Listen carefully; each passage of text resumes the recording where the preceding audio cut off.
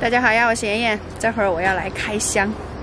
今天回来的肉肉就是我上次我朋友家给我发过来的，回来了十五斤肉肉，然后还买了十提那个卫生纸，就是给大家包肉肉用的那个卫生纸，给大家看一下。有一部分是让他给我脱土发回来的，因为我觉得价格还比较合适，想要自己就控养一些嘛。大家都知道妍妍家以前的肉肉就是自己养的，很多就是拼盘的那种。这会儿我们来开箱，等等，你看那个箱子压的，那几箱都有点满。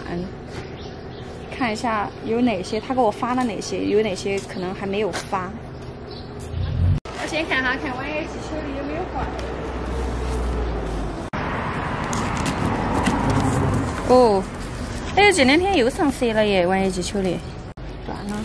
他说我拿回来可以直接露养这个，颜色还多好，刚粉了。这个也是，我估计那个小香香全部都是那个，那个大香香压扁了的都是多土的。你看这个，漏丢没得哦，香粉粉烂了。嗯，香粉粉烂了，它这个太重了，主要是。这一箱感觉就要轻松多样哎。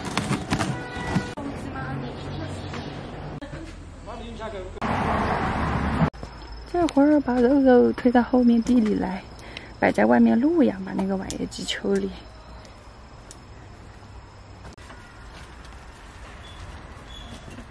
反正这儿我给它放架架高头来。又卷 到有点太不给力了。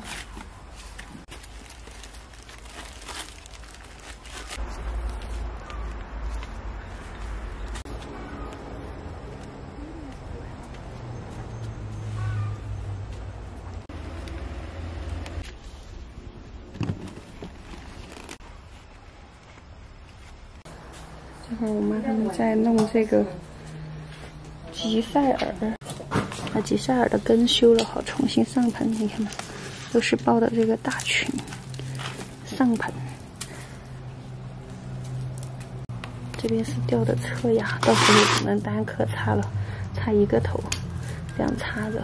这侧芽太小了，它就掉了。